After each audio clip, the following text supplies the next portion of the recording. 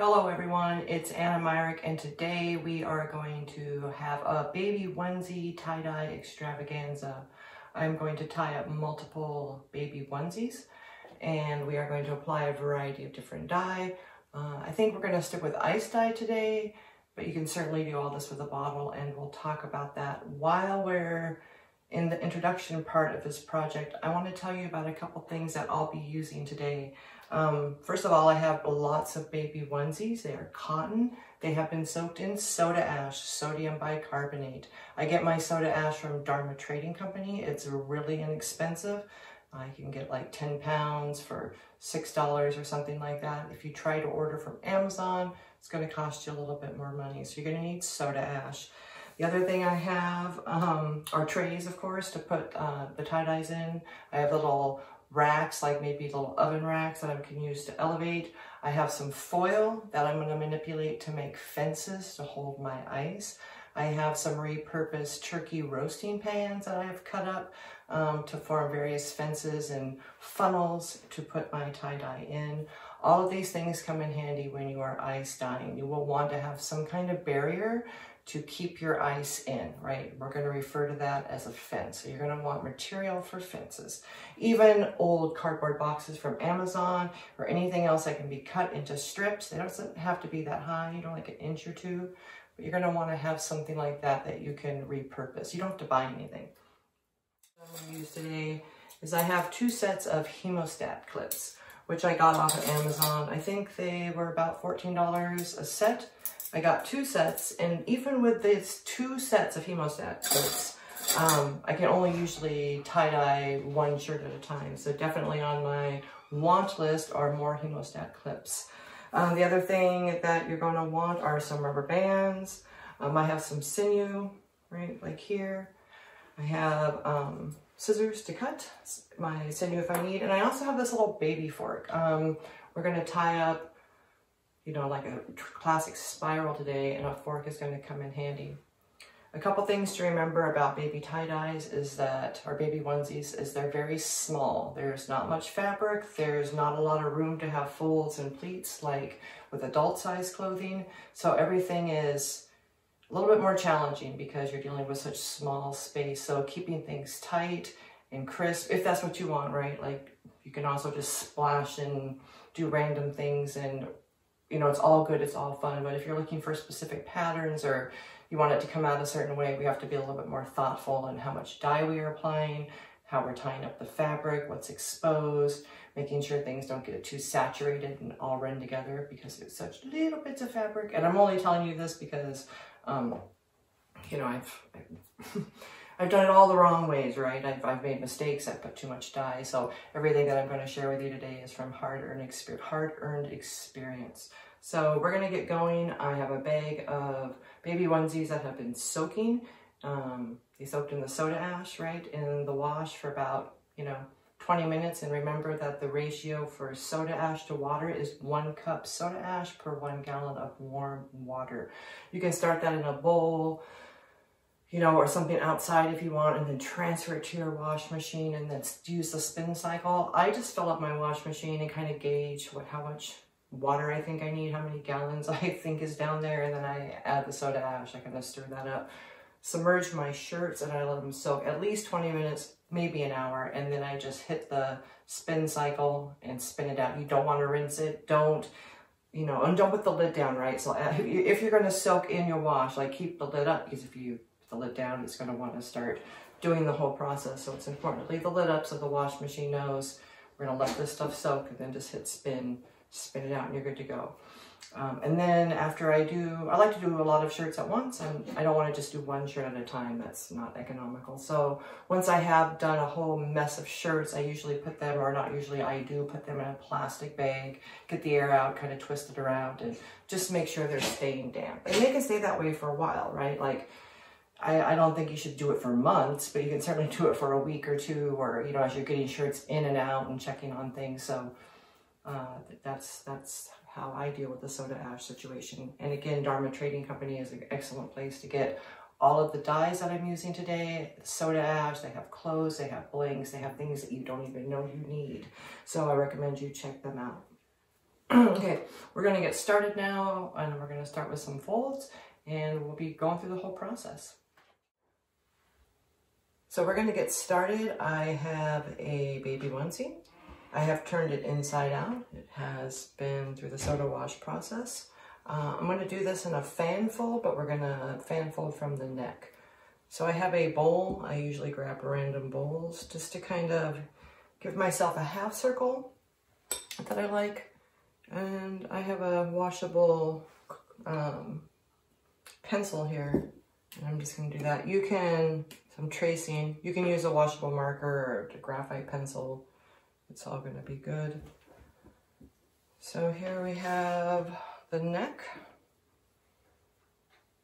So I'm going to start to pleat fold, which is this down and up like you're pleating paper. Think about like how you make paper fans in school or even now for fun.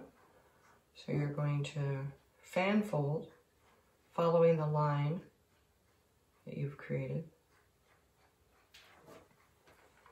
You know, you can, there's lots of things you can use to make a half circle. You can eyeball it, find something round, compass, string. All right. So I have my main part done. So now I'm going to take our rubber band and I'm going to put it around to hold that in place. It's good. And now I'm just going to go through the shirt I'm going to kind of help it find its pleats, right? So I can pleat on the way down. Sometimes if I pull it straight, it naturally wants to make pleats, but remember this is a very small shirt, so might need a little bit more assistance.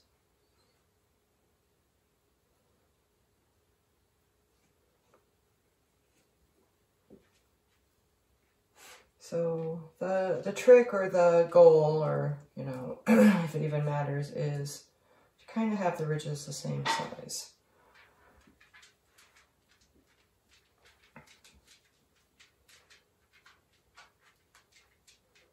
Give some okay. It's a pitter patter of uh, my dog checking out where his mom is.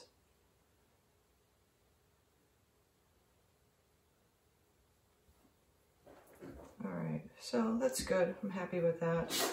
I'm gonna kind of smush it all the way down. I'm, we're just gonna do the top part as a fan fold. I'm gonna leave the bottom part a little more free range, meaning I'm not gonna tie it up as tight and I'm gonna put it on an incline with the ice and kind of let it like drip. I think it might be kind of pastel um, this shirt, my plan is to use a peony pink, a sea glass, and a gray mist in between those colors. I made one yesterday on an adult shirt and it looked great. Like it reminds me of watermelon and candy and I want to see how it looks on a baby onesie. I want to see if I can duplicate that but in a smaller version. We will see because like I said, there is so little fabric here that the effect that I got on the big shirt I'm gonna have to really think about how much dye I'm putting on this shirt and like being sparse with it. One of the reasons that shirt worked yesterday was because I left so much white space, um, giving, the, giving the dye a place to go when it dripped down in the pan. So this is the fan fold here. You can see I'm gonna leave the end like that because I'm gonna want it to drip and it's gonna go on the tray like on an incline. And we're gonna add dye in a little bit. Baby onesie spiral. I have a baby onesie here. We're going to spiral this, this baby onesie. I have a fork, I have a little baby fork. I'm gonna find the center of my shirt. I often can tell that by the tag. I'm just gonna run my finger down. I'm gonna go like a little below the armpit. That's where my center is going to be. So you can be more exact if you want, but I'm just gonna eyeball that. I'm gonna start my fork here and I'm gonna start to twist. Now, as it's twisting, I'm gonna try to help it because I don't want some of these folds to get too tall. like overtake like right here. I think baby onesie um, folding is kind of challenging. So I'm going slow. I want to helping it along. I'm going to kind of keep that fold down a little bit. I don't want it to overtake.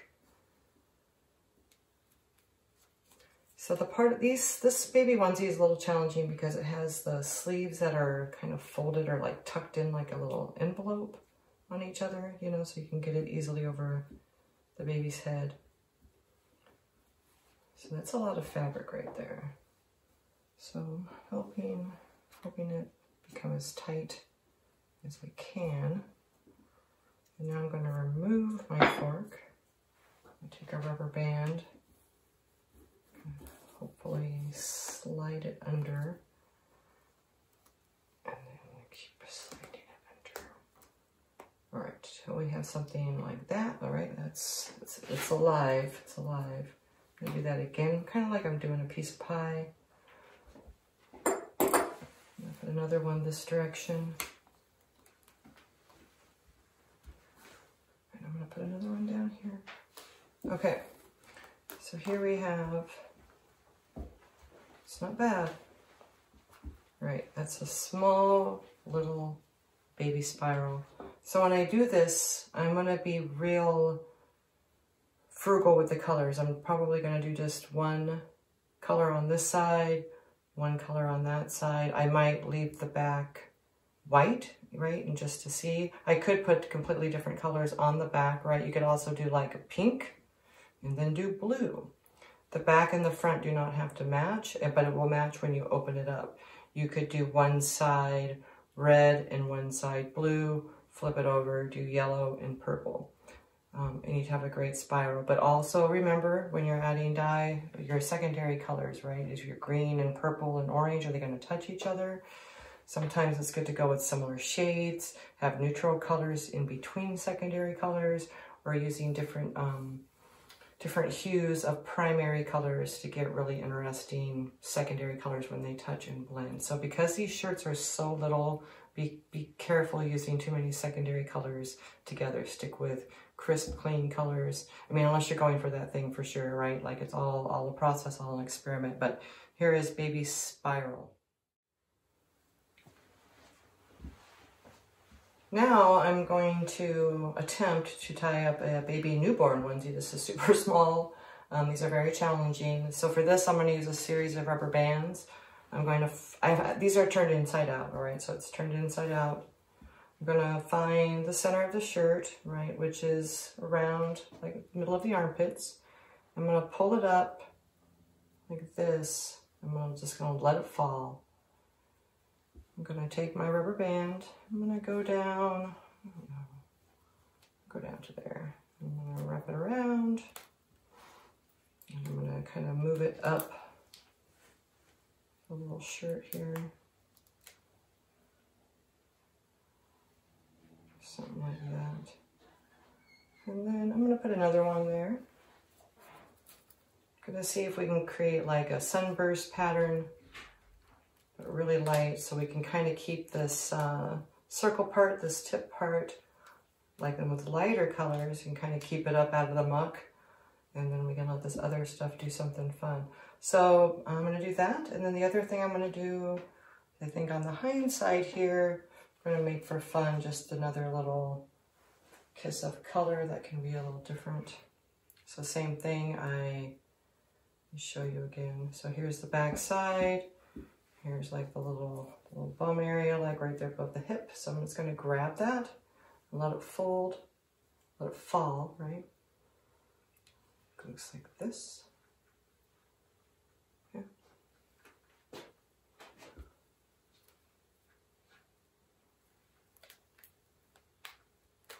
These are my rubber band.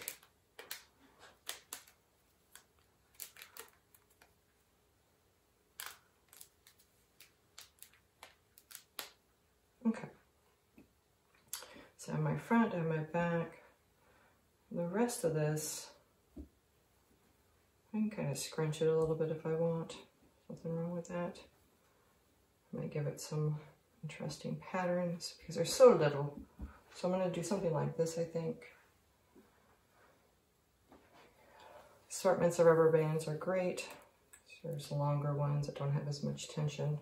That's always the trick, finding the right rubber band for the job if they are not all equal. All right, I like that. It's gonna be cool, it's gonna work out. All right, so here we have baby tie-dye sunburst uh, from on the chest and a little sunburst on the back with a crumple pattern. Here's what it looks like on this side. Here it is all tied up. So this is baby tie-dye fold number three. We are going to fold like a mandala and use our hemostat clips to secure it. So I have my shirt, so it's inside out. I am going to find the center of the front part of the shirt. I'm gonna let the rest of it kind of drape. I'm gonna lay it like that smooth that out.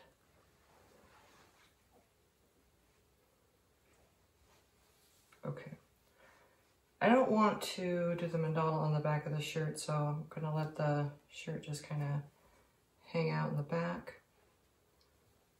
We'll deal with that in a little bit. Just gonna move this little arm out of the way. Okay. So now that I have it here, I want the middle of my shirt to be just below the armpit, which is about there. So I'm going to fold my shirt in half up to the area that I think is my center, like right under the armpit. So now I have it folded in half. Think about making a paper airplane. You're going to fold that back. Okay. Kind of smooth it out. You're going to fold it back one more time. Now you're going to carefully take your shirt, flip it, maintaining your little folds there the best you can. And then you're going to do the same thing on this side.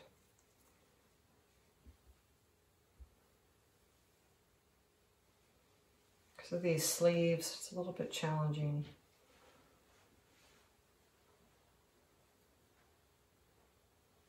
Okay. So pull that out. All right, so here is my folded shirt, just the front part. We're going to do the mandala on this section here.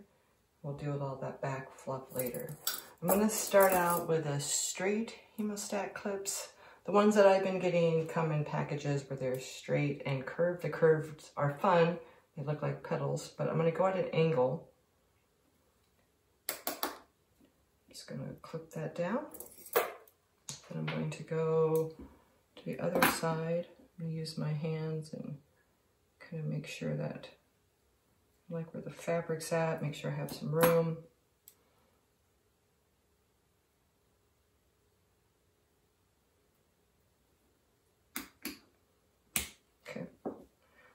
You can see I'm alternating little triangles. Gonna go back to my straight, straight clamp. Using, using my resources, using what I have. Angle that.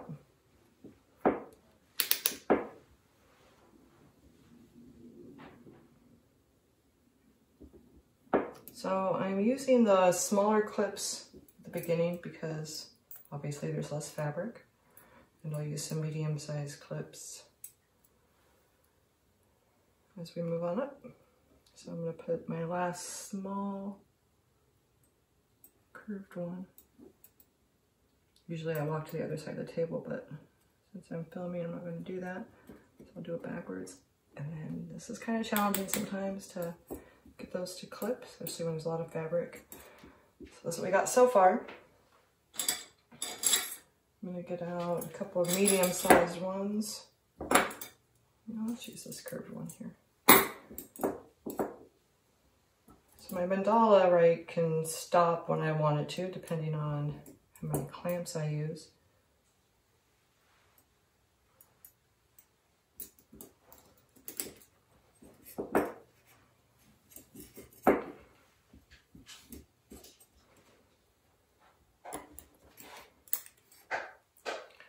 Okay, this might be my last one. Let's see. I want to have a really nice big like petal. So I'm gonna pull that, make sure it's tight. And I'm gonna go at a really deep angle here. All right. I think that's pretty good. That's gonna start, the neck is right here, right? So I don't want it too far up. I like that, so I'm gonna call that good on my clamps. Now for this part of the shirt, I'm gonna kind of keep my fold intact a, a little bit, but then for the rest of this, I'm gonna kind of crunch it up. And I'm gonna kind of use my fingers down here and just kind of make a real quick crinkle, crinkle pattern in here, kind of flatten it out so the dye and stuff can get to it in a more interesting way.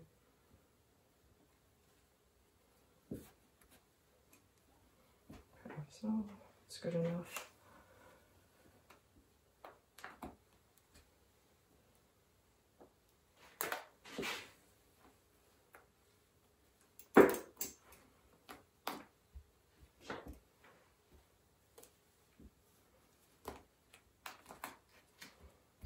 All right, so here is the Hemostat Mandala baby onesie, all ready to go. Here's the long sleeve newborn baby onesie. It is turned inside out. One sleeve has been put into the other sleeve. So it's kind of folded like that. That is the back of the shirt. That's the crease. This is the front of the shirt. And that's the crease right there. So I've spent some time smoothing that out, lining it up. I also spent a few minutes making sure that these sleeves were together, the seams are lined up. That often requires separating the fabric, sticking your fingers in there, smoothing things out, okay? So for this one, I'm gonna attempt to do a crinkle fold and we're gonna leave the bottom to kind of do some fun things like I've been doing on the Big People shirts. We'll see if we can miniaturize this. So I'm gonna start by making some pleats on my fold. Crinkle folds are challenging because you you know, you kind of kind of have to hold things as you go.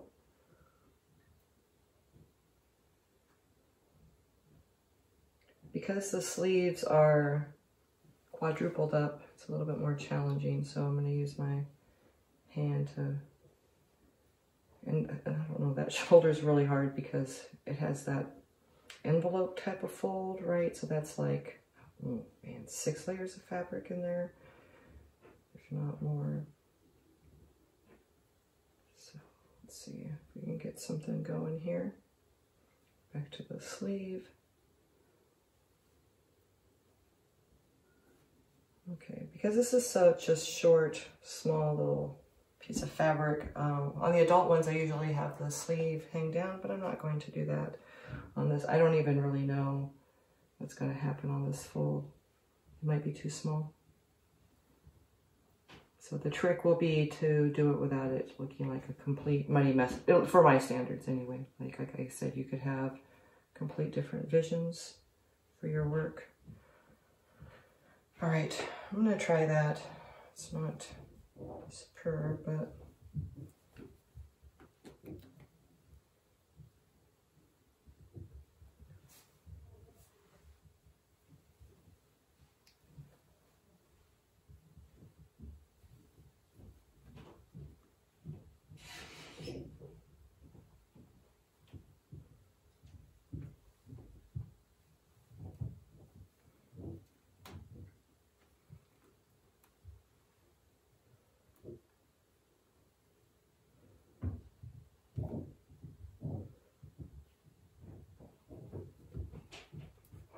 There we go. It's better. Find an anchor point for that guy.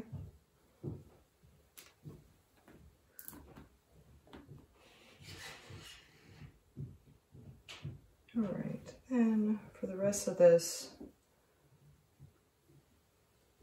let's see if I can put something else here. There we go. Okay. So then for the rest of this, I'm just gonna kind of help it pleat a little bit. It doesn't have to be perfect, like this is gonna be the kind of the runoff here. I'll do this little flap. I'm gonna put the little flap up here. It's folded a little bit. I'll just tuck that little guy up there. That'll be good. Tuck that in there. All right, I'll be fine. I mean, we could be adventurous and go like that, which isn't a bad idea. See that I'm out of rubber bands. I'm gonna quickly take a piece of the sinew.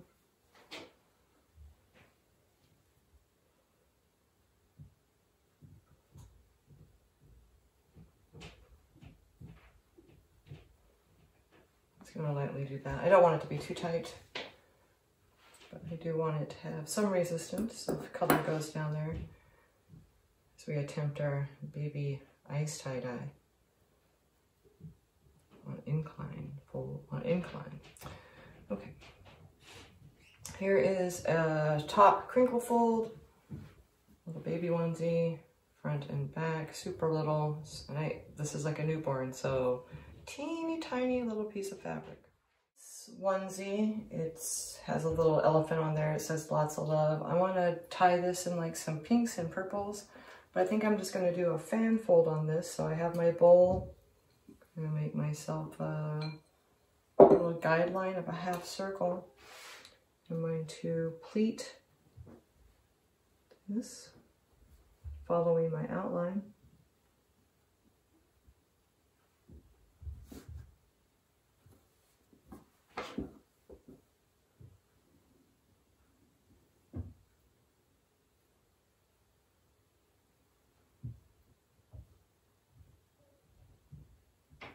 Okay.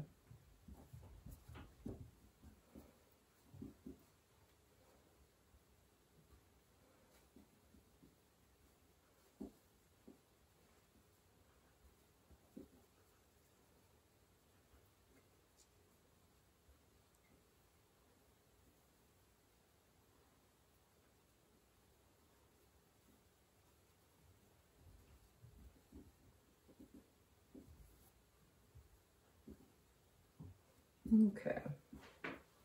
Just helping this along before I tie it up with my little sinew. It's going to be a little challenging where the elephant is because it has that Wonder Under stuff behind it. Makes it a little stiff. All right, so first I'm just going to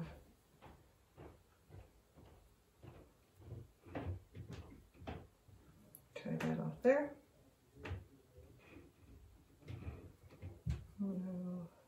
I'm to go down a little bit into here and just kind of wrap it and give it a pull. I'm just going to continue this sinew up the shirt. You can also use kite string, you know, twine. It shouldn't, it should have, um, you know, be firm, like not too elasticy.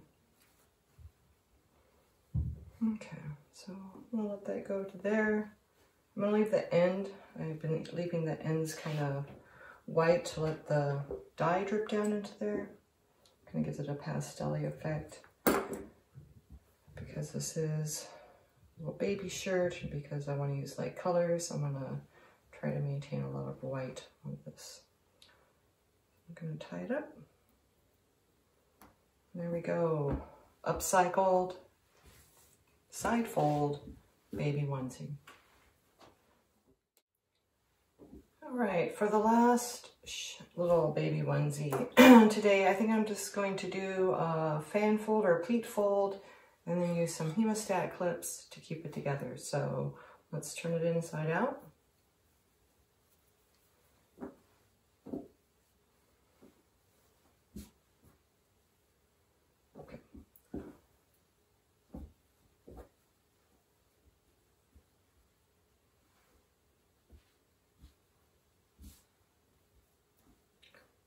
I am just going to pleat fold which is like a fan fold, right? I'm just doing it vertical.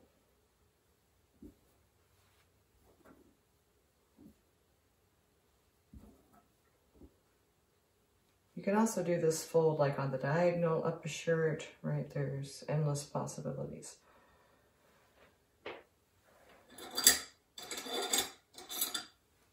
So I'm going to take this clamp.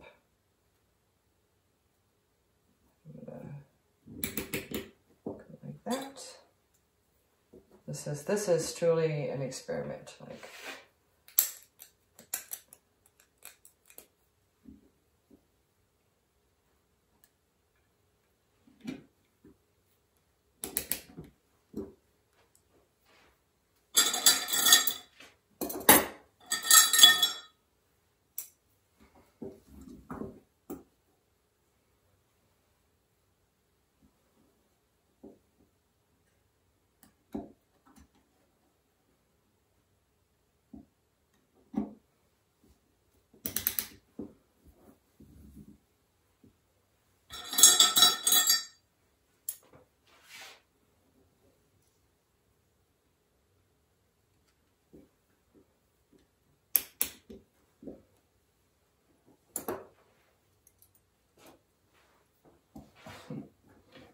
This is going to be interesting.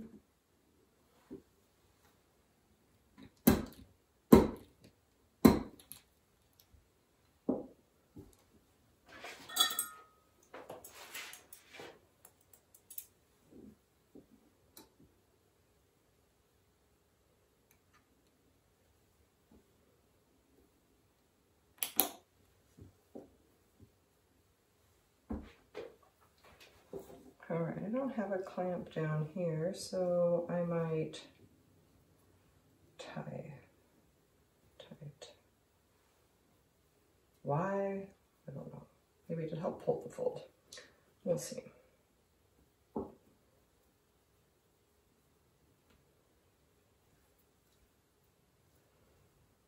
Okay, so hemostat clamp on a pleat fold newborn size. I don't know, should be interesting. All right, this is number seven. So we have tied up seven baby onesies and we are going to go dye them. All right, here is shirt one. It is tied up from the collar fan fold, remember going from the neck. So I'm gonna add some color. I'm gonna do it sparingly. I just had a little tool that I was gonna use. Oh, here it is. Because these are so little, I don't want to use much dye. So I'm going to put some peony, which is like a pink color. Actually, I'm going to sprinkle that up there just a little bit.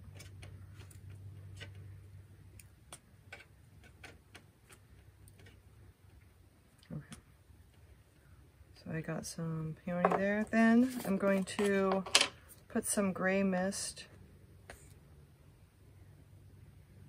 here. Because I'm using two secondary colors, I don't really want them to do much blending. So I'm going to put the gray mist as a buffer color in between.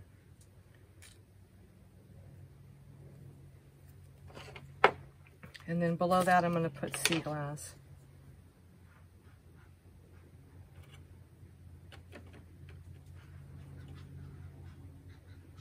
It's a little bit thicker here, so I'm to add just a little bit more dye.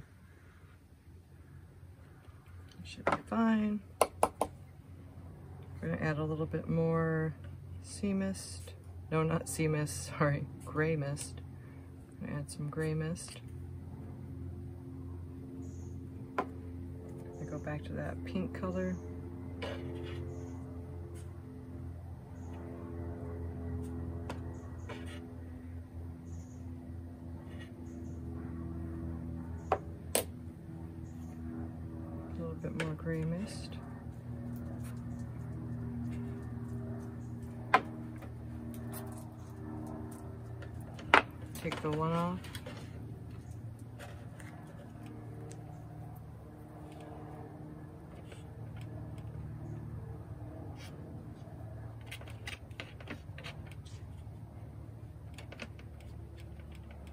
Putting a little extra there because I want it to run into the bottom of the shirt. I see that I have gotten some around there, so I'm gonna pick it up with my brush.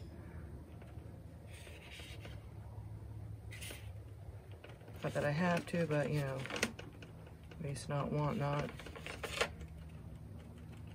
Sometimes I do apply this dye with a brush, um, although it's usually a little wetter, but this is fine. All right, so I like that. I might add a little bit more to this top fold here.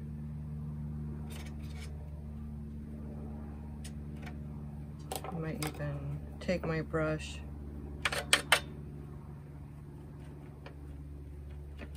remember um, remember baby onesies not not much fabric so I'm gonna call that good so in a few minutes after I get everything dyed up, I'm gonna kind of crinkle that together a little bit more and I'm gonna add ice in there. And I'm gonna put it at an incline, but I'm gonna step to the side and move that and we'll work on shirt number two. Here is our baby onesie spiral. I have mixed up some peacock blue, pretty concentrated in this little tiny container here. And then I have transferred it to my little needle nose application bottle. And I'm going to find the center this concentrated dye, or half anyway. And I'm going to apply this blue on this half.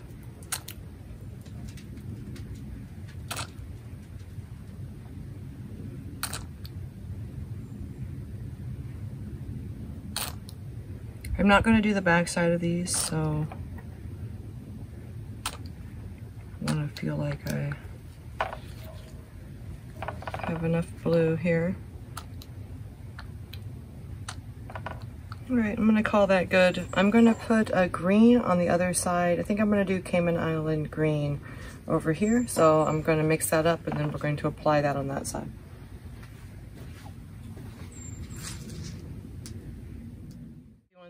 Mark, beginning. All right, I've made up some Cayman Island green and I've put it in my little application bottle. I'm using this application bottle because the opening is smaller than the squeeze bottles we sometimes use.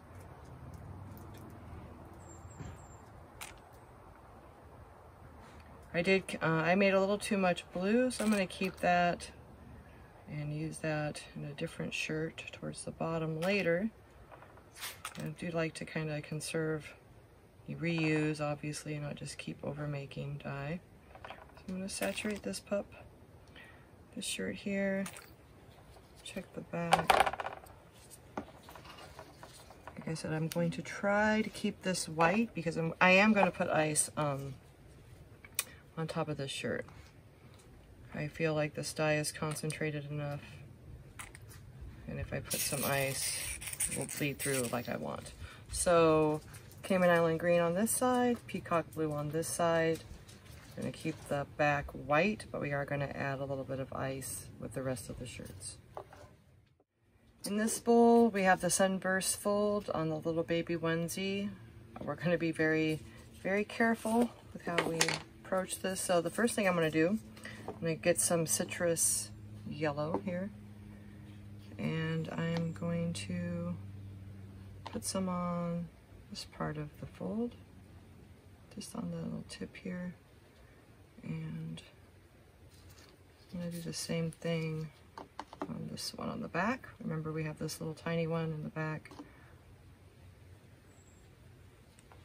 All right. So I have a little bit of citrus. The next thing I'm going to do is add a little bit of tangerine. Just going to use my brush.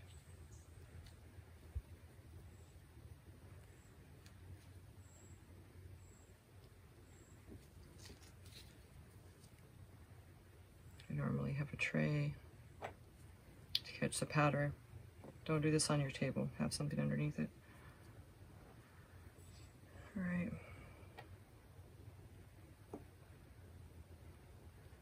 We got some tangerine. I don't care if I get some flecks in there, that's good. Next thing I'm going to do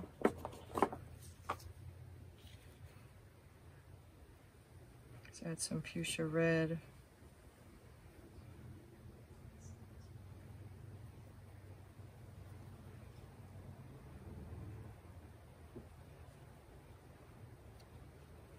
a little bit around the base of the backside.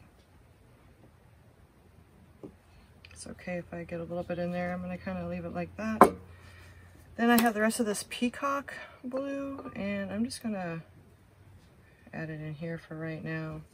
Let it sit at the bottom. I'm going to add ice over this in a bit, but I'm going to let that ride while I get everything else going. So citrus yellow, tangerine, fuchsia red with my leftover peacock blue at the base there. That's really thick. The shirt is folded up in a thick way. I am going to add some ice and uh, we'll see what happens here. In this pan here, which is actually the top of a cake container, I live on a property where nothing gets thrown away. So I have lots of opportunities to recycle. And this makes actually a super great tie-dye tray. I've been using it for all my tie-dye. So side note, if you see the cake toppers from those cakes they get at, you know, the big stores or whatever, like, look how awesome that is. So recommend saving those. They've come in handy. So I have my baby onesie here. I have my hemostat clips ready to go. I like the clips because if I keep them upright like that, it kind of elevates my mandala like a little bit so it's not laying completely on the ground, at least the, this part, right? So when we start out, I'm going to have this flat. I'm going to have a fence around here. And then later, I'm going to just pull this whole thing up. And I like the clips because I can literally just like clip the ends over, right? And it can hang.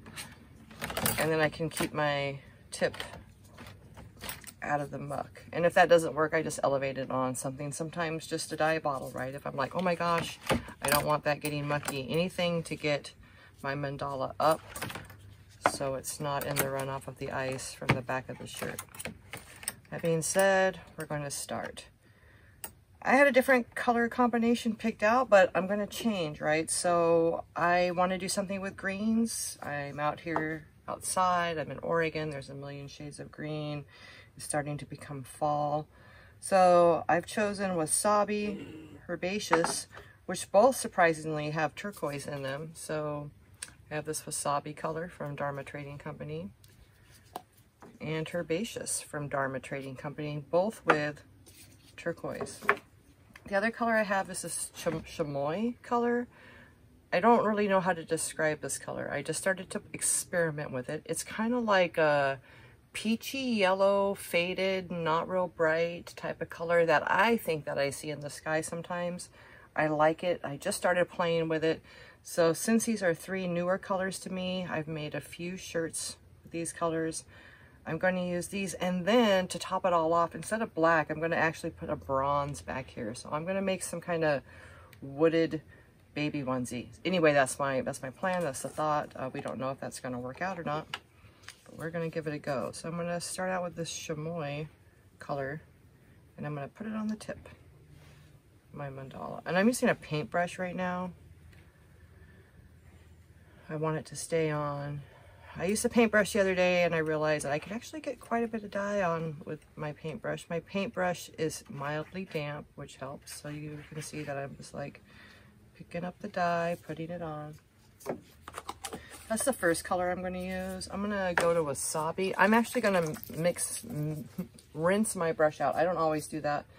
But I've noticed um, when I don't do that, sometimes I'm getting some dye particles in my other bottles. So I have a damp towel over here. I have a series of art towels that I use that I launder by themselves or I rinse out by themselves and I just keep using them.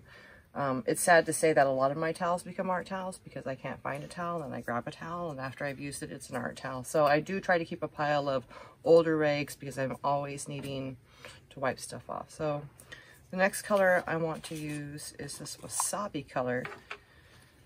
So this is a newer color to me. It has turquoise in it. I'm going to take my brush And I'm not going to get overly crazy with this because it's a baby onesie and I feel like I put a, I just feel like I overdid on a shirt the other day. So I'm just trying to be more mindful. It's difficult um, to gauge the right amount of dye for this process. So the third color I'm going to put on is Herbaceous. it just sounds awesome. Like it's a green color, there's turquoise in it, and it just sounds pretty intriguing. And it did look nice next to the wasabi color on the color palette. Okay, I'm gonna put a little bit down here, use my brush, pick some up. Now the trick is, and the difficulty is, these colors just want to run together because they're so close. so I'm always trying to figure out how can I preserve the colors in each section a little bit better. Putting some of this uh, chamois on.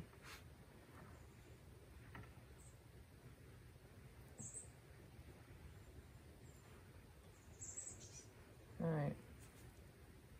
Just trying to, there we go. Then we're gonna go back to the wasabi.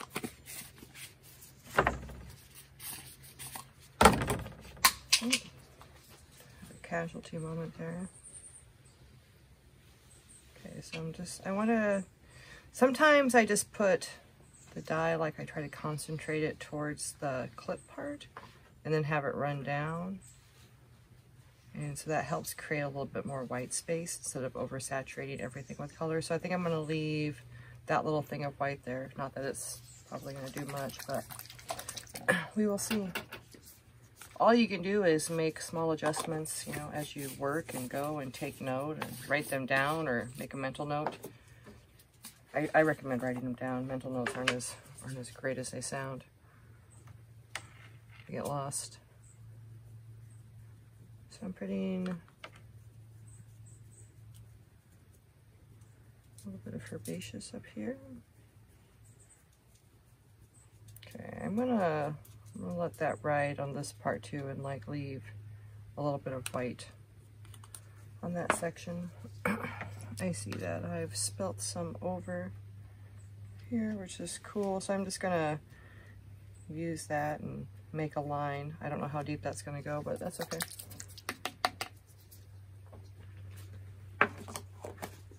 After that, I'm going to add a little bit of this uh, chamois, just chamois, whatever you want to say. Please correct me. I should have Googled how to say this word correctly first. I'm just going to put a little bit here. Nothing too major. And then I've been liking the effect of uh, dropping some of this pigment straight into different parts of the shirt. So, could put a little bit of that there.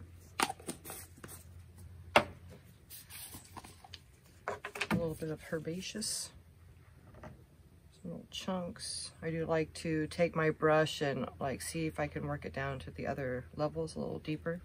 We don't want everything just to be sitting on top, especially on, um, you know, the negative part or the back part, the bottom part of the shirt. When done correctly, it's been looking like space and other trippy things that I can't even predict. So I really, I've been really enjoying that process with this random dropping of the dye, working it in.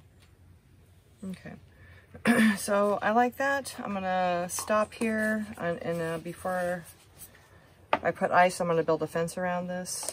move this down. And I do kind of babysit these uh, for a little bit, right? I'm always checking, especially on my mandalas.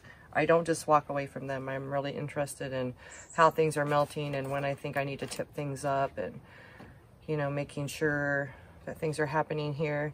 I'm going to put ice on here, um, but then later I'm going to sprinkle um, some bronze powder on top of some more ice and I'm going to kind of let this all melt with some bronze with these greens. So we'll see. It could look kind of like camouflage. It could, I don't know. We'll see. I'm excited to see how this one turns out. Crinkle fold baby onesie. It's small, it's delicate. Um, and I'm I'm motivated by October. It's October 3rd. I love Halloween season. So I'm going to make this uh, Halloween type colors. I'm going to use, well, you know, I was going to use just like the orange, but if I had like some kind of green and then the purple, that'd be another Halloweeny thing. But I think I'm just gonna do the deep orange marigold and brush steel and keep it orangey. But I really want, that makes me want to play with like some chartreuse and purple and make it look like poison and bubbling cauldrons. So before I apply the dye, let's talk about the colors. I'm gonna use some deep orange. Um, this is a trick I do. I mean, it's not really a trick, but I write the, the label name on top and if, and if it's a black lid, I put tape on it and write it on top of the tape. Why? Because you'll be surprised how fast this can like disappear or get dye on it or water and then you really don't know what color it is. And it's just easier sometimes looking for things if you have it labeled on the top and the bottom. So I highly recommend that. I'm gonna start out with a little deep orange and I'm using a spoon and I'm just going to kind of make a couple little piles. This could be too much, right? This is a baby onesie, for, for goodness sakes. Maybe I need a little bit here. I know that they have these weird folded arms, the envelope arms on these baby onesies, which makes tight that, that area very challenging. So after that, I'm gonna use some marigold. I really like marigold. It's also very Day of the Dead, very fall colorish. Get some there. I'm gonna put this on an incline and my hope is that the colors run into the bottom of this onesie in, in the kind of the fan fold pattern. That's my thought. Okay, so we like that. I'm gonna end it with a little bit of brush steel I'm gonna try to focus on the areas we don't have much orange.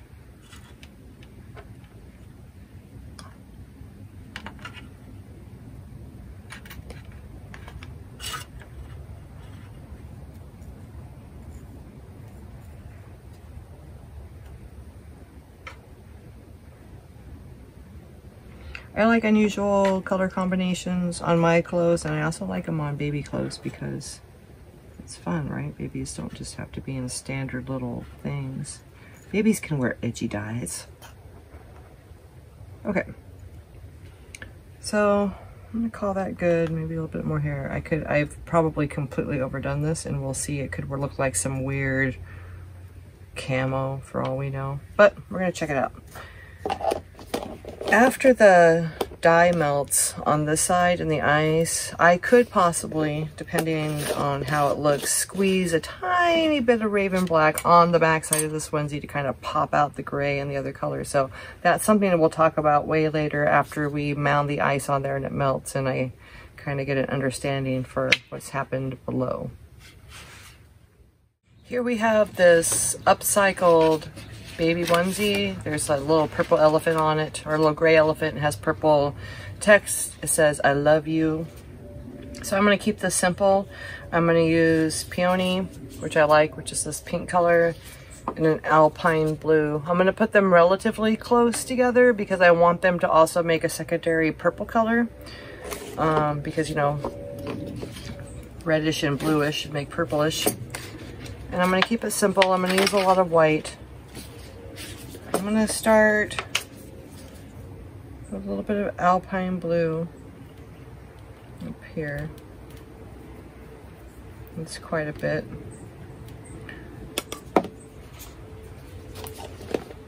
But I do want to have the white area for fun things to happen.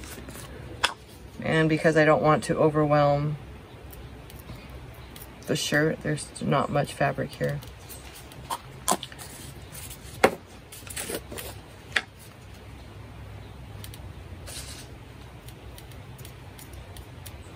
I have uh, 30 new, I have 30 colors and some colors I know really well and some colors I don't. And so part, some of this is just me experimenting with different color combinations. So I have not used Alpine Blue in this pink color before.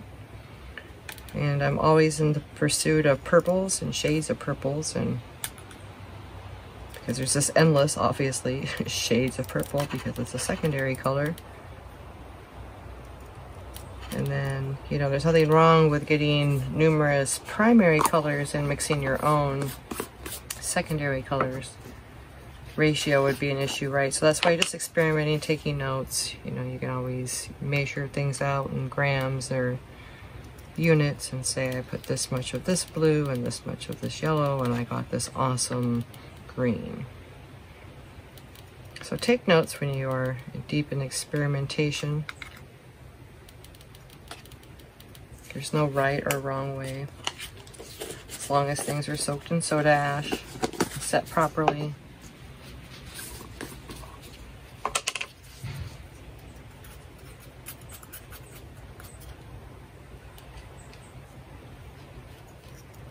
It's a little thicker down here, so I'm just gonna add a little bit more dye.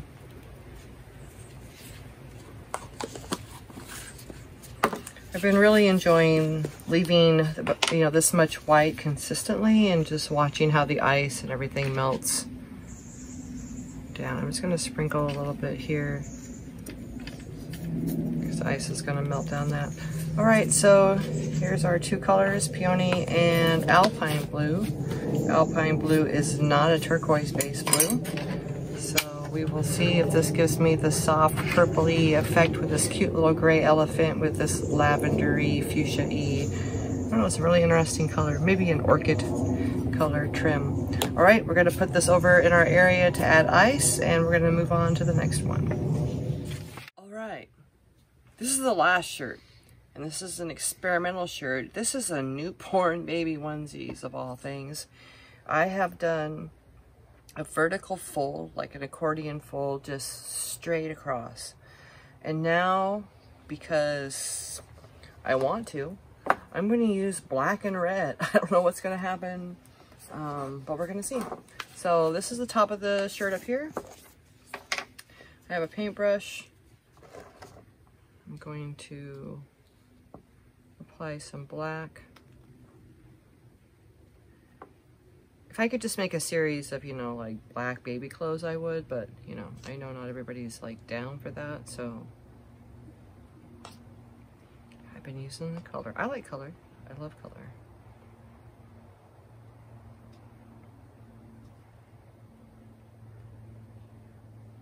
So this this is gonna, I don't, I, I literally have uh, no expectations for this. I have no idea. What I am excited about is that I have hemostat, hemostat clamps on this shirt, which I think are gonna be cool. Now, part of me wonders, I'm just gonna work out a process here, if I should leave an area white and do red, black, red, black, and leave an area white. I, I think I might do that. And then There'll be a couple white sections, which might give that some area to play. Let's let's try that. Maybe this is the wrong the wrong thing to do, but this is what we're gonna do.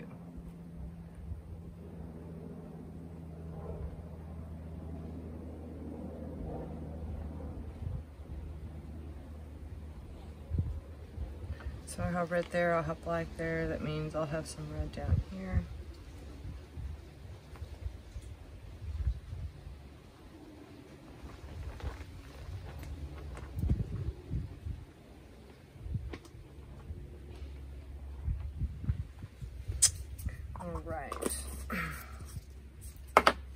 Um, I'm gonna get some water to rinse my brush out. I'll be right back.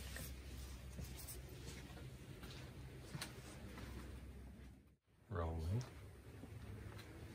Right, I'm gonna add some black down here.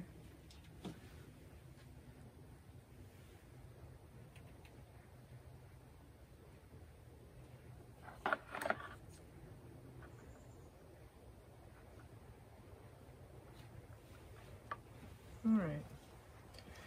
And I'm going to add a little bit down here, the base.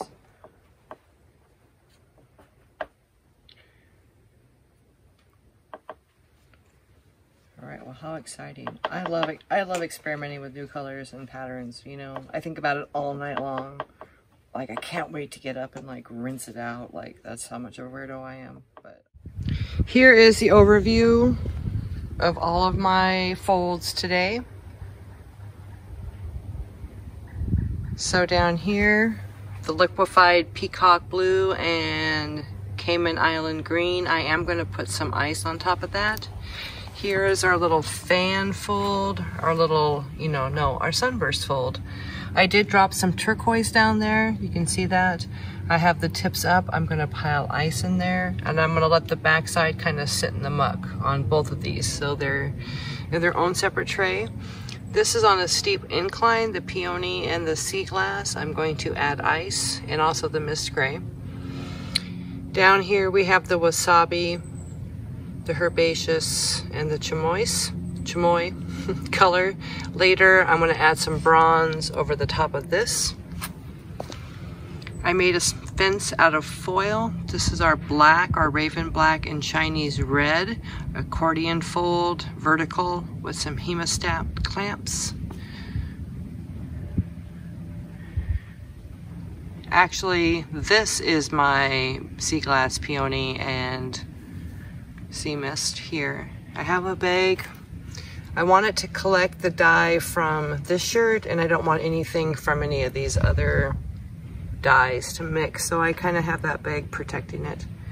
Then we have our little pumpkin, marigold, deep orange, and brushed steel over here.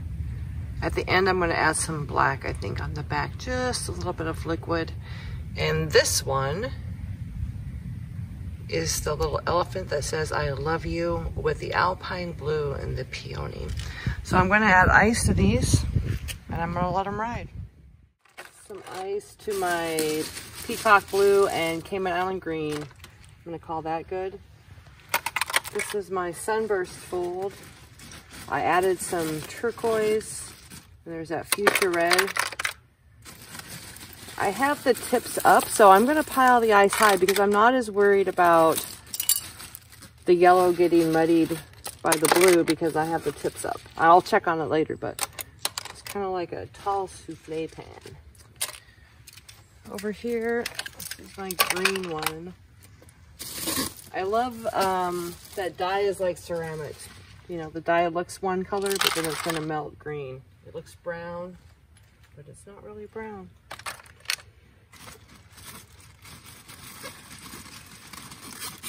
Having it like hang out on the tips here is challenging. Sometimes I try to balance them.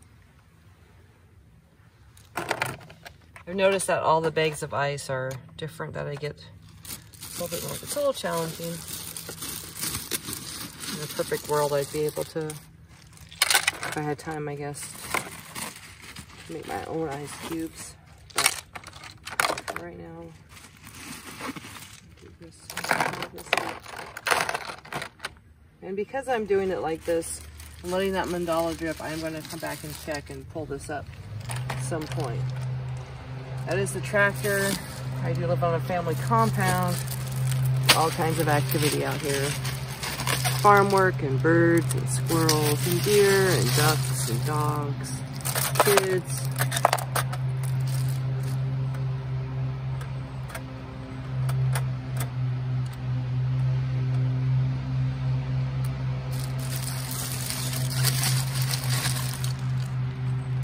Just noticed I forgot to put my gloves on. Um, please remember to put your gloves on.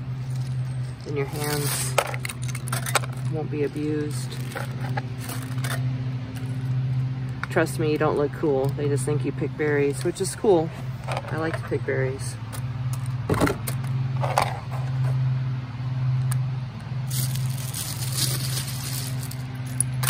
All right, this is my black and red. I'm hoping it looks like a little Harlequin type of shirt. That's my plan, but who knows. I'm gonna step across here. All right, I have my gloves on, which is the preferred method. So here I am with my gloves on. So over here we have the Alpine Blue and the Peony. This is the little upcycled elephant dye.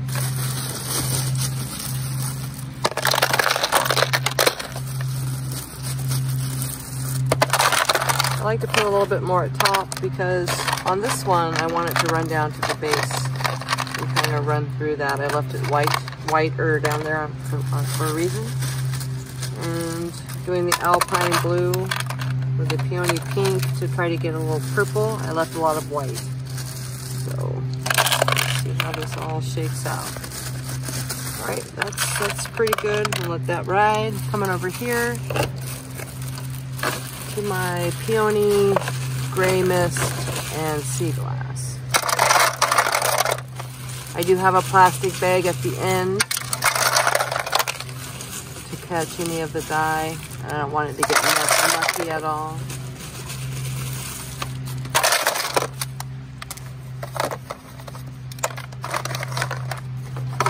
I don't want it to hang out in the muck of these other shirts.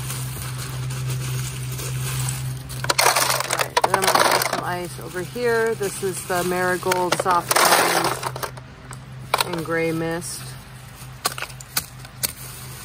When this melts, I'm not going to put that much on. I'm going to turn it over and put a little bit of liquid black. So I'm going to let that ride. I'm going to go get some soda ash and I'm going to sprinkle a little soda ash over the ice.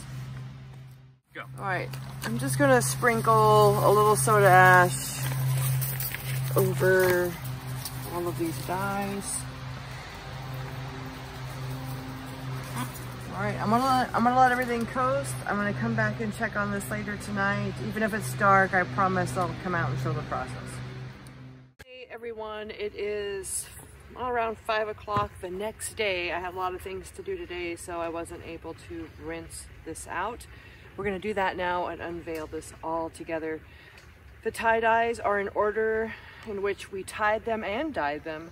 Yesterday we have our neck fan fold with the peony, mist, gray, and sea glass, Cayman Island green, with the peacock blue that was liquid a little bit of ice on top that's tie number two sunburst with the lemon yellow tangerine fuchsia red with some turquoise uh, dumped in there.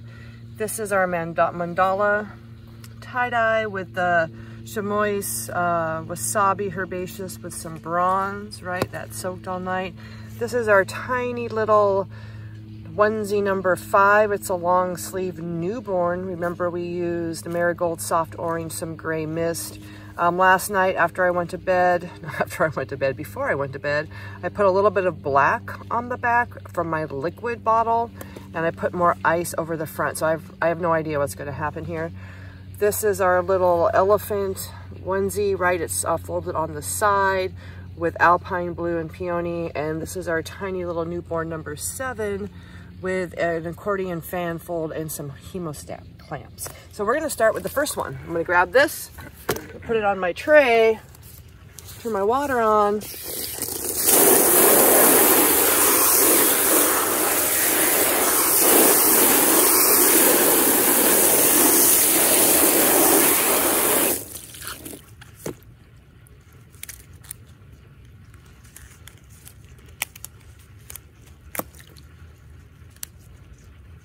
Was hard to wait all day to open these up. Like I said, these are tiny. These are all experiments. Uh, I have no idea what these are really going to look like. Okay, we're just going to go through this in a rapid clip.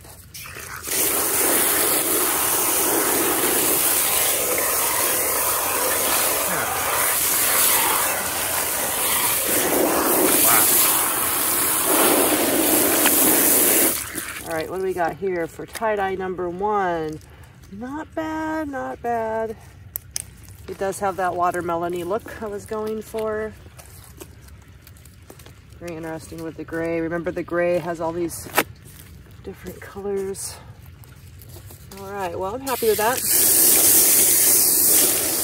All right, here we have tie-dye number one, rinsed out. Number two, spiral liquid dye, ice on top. It did sit in the muck, so I really don't know. I don't know what's going to happen here. It could be overly blue. It could be, could be all kinds of things. I have no idea.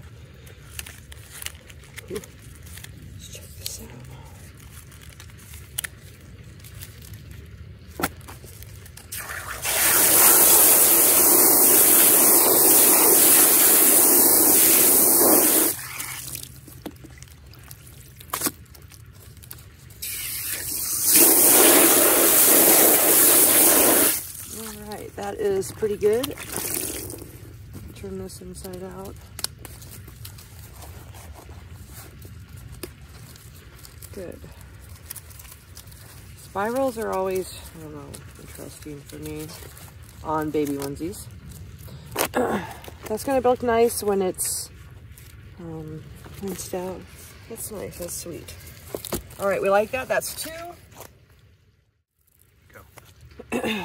okay, our third onesie here, the sunburst from the center and on the back. Let's see how this turned out. I think this one's gonna be pretty cool.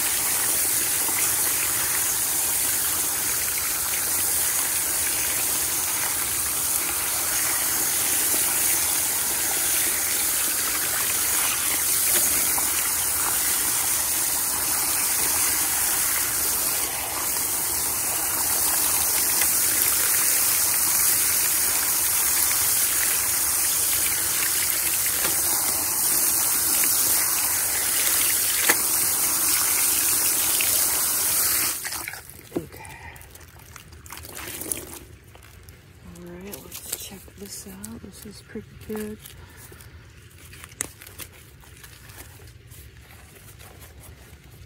No, the backside's cute. Okay. So here's the little backsplash there.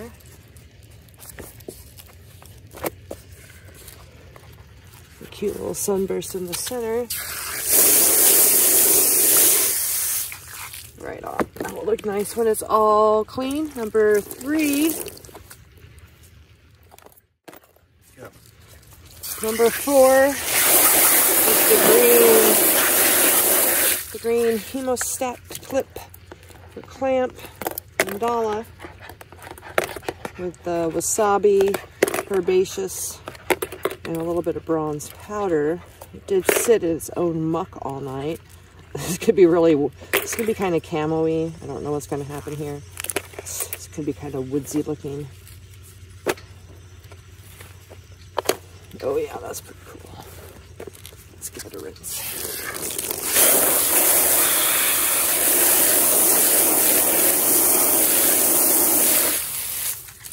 Yeah, that turned out pretty good. That's good. Let's see what the back looks like. Oh yeah, it's got some nice color. All right, that'll be fun, little Oregon camo. That's number four. Hey, shirt five is the newborn onesie, long sleeve with the soft orange marigold mist gray with some black involved. I have no idea. I have, I do not have high hopes for this shirt. This onesie Just wanted to play with these colors.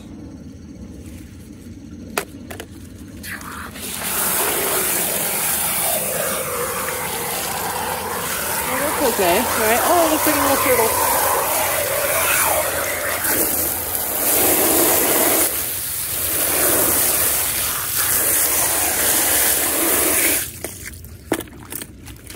All right, let me turn this inside out.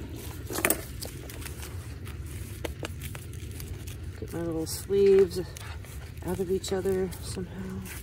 There we go. All right, let's see what we got.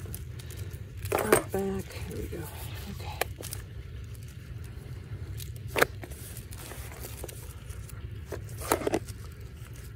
All right, that's nice and moody.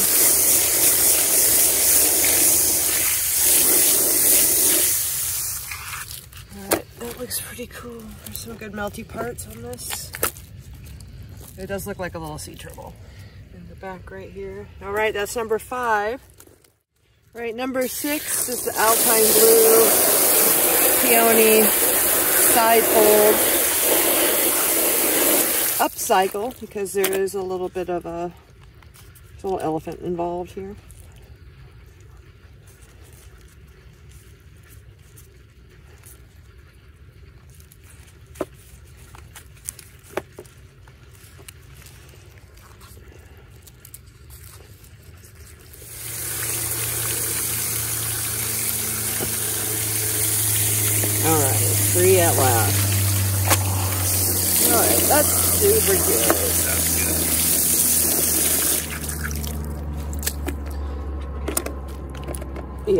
super cute.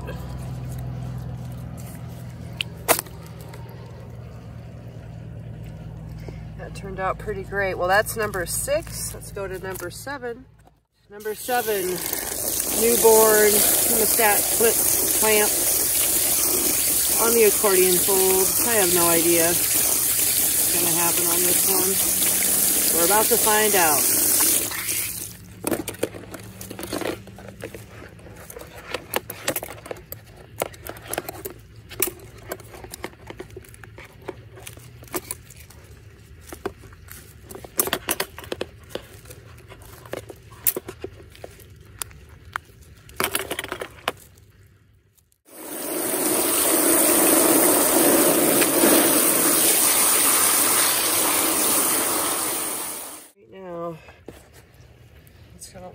Awesome. I'm pretty happy with that. All right, that's number seven. I'm gonna go put these in the wash and then we're gonna come back for a reveal when they're all dry and clean. See you in a few. Hello everyone, it's Anna Meyrick and we are going to look at the baby onesie extravaganza all seven of them they're all clean they're all ready to go i'm ready to show you it was an exciting day waiting to open them up i'm pretty happy with most of them there you know there's always adjustments that can be made but let's take a look now all right, here is the first uh, tie-dye that we tied up. Let me turn them this way. This is tie-dye number one. Tie-dye number one was a fan fold from the neck with peony, sea glass, and gray mist. Uh, I like this a lot. It looks like watermelon. It looks like a seed. Uh, it's pretty great. Back is nice. Has some nice light colors. I'm happy with this tie-dye. So this is fan fold neck tie-dye number one. Tie-dye number two was the spiral. Remember I used some peacock blue and some Cayman Island green. This is the only one that I applied the dye with a little tiny uh, applique bottle applicator bottle, you know, whatever whatever we want to say. Um, it did kind of hang out in its own muck, you know. Um, I, there was ice on top of it. It is nice and watery. The secondary color here uh, and the lighter color filled in is because it was sitting in its own its own runoff. But I like this one. It's a, a successful baby onesie spiral. I think they're very challenging. So I like that. Looks like a little snake or a you know little lizard tail. So Yay on this. This is tie-dye number two, spiral fold. Here we have this uh, newborn or zero to three month baby onesie. We This is the sunburst fold. We used rubber bands. In the center we had yellow, some tangerine. I used a lot of fuchsia. When things were crumpled up, I added turquoise on top. On the back, we have the little uh, hind end action there with the other little sunburst. I think that's pretty cute. So overall, I think it's a pretty great little tie-dye, especially on this super small canvas. This is tie-dye number three, Sunburst. Tie-dye number four, we have our mandala with our clips. I like this one. It's very green, it's very earthy. We used wasabi herbaceous and some chamoy and then we topped it off with some bronze on the back. But I like this like whatever's happening here with this uh, turquoise based uh, wasabi and the herbaceous is also a turquoise based green. I like that. I really like the sleeves up here. Some fun fun things have happened up there with the bronze. Here's the back. That's pretty good. It's kind of turtly. It's kind of fun I like this one. This is tie-dye number four, mandala with hemostat, hemostat clamps or clips. This is newborn long sleeve baby onesie that we did in soft orange marigold and some gray mist. You hear the pitter patter of my pups. Um, I like this one. It was really challenging, like it's like a newborn, zero to three month size. It does kind of look like a turtle. And then when I, after the ice melted on this one, I turned it over and I added black uh, to the back with my squeeze bottle. That's where that darker color is coming from. And then I flipped it over and put ice back on the front. So uh, I really like the back of this shirt now that I'm looking at it. It's uh, it's an unusual color, but there's some nice blues and orange. It's a trippy shirt. Um, it's definitely, it's definitely one of a kind. I really like it. Like it has potential. So I think I think that was overall successful on this tie dye number five. Yeah, number five. Okay, this is tie dye number six. This is the side fold fan fold with alpine blue and peony upcycled on this lots of love little pink elephant. It's pretty cute. I like it. It's you know it's simple. It's to the point. Gets the job done. It's got some nice little blends. Overall, successful little dye. All right, well, this was our fun little, like, little, I think this says NB. I think this is a newborn. This is a newborn onesie. Uh, we did the vertical fan fold. I did some clamps, and then I just put uh, Raven Black and Chinese Red and left um, a section of white. Remember, it was all triangles, so I left like one triangle of white. I think that's pretty cool. It allowed some area to run and, you know, just gave it a little bit more space. Uh, it's great. This has a lot of potential. It's pretty tight on a little newborn outfit. It also tells me that like clamps on newborn clothes might be the way to go to hold things in place and make interesting patterns. Well, there you go. That is seven unique baby onesies with different ties, different dyes, all ice dyed all lots of fun, all lots of uh, things to think about and explore. I hope you had a fun time checking out the whole baby onesie process.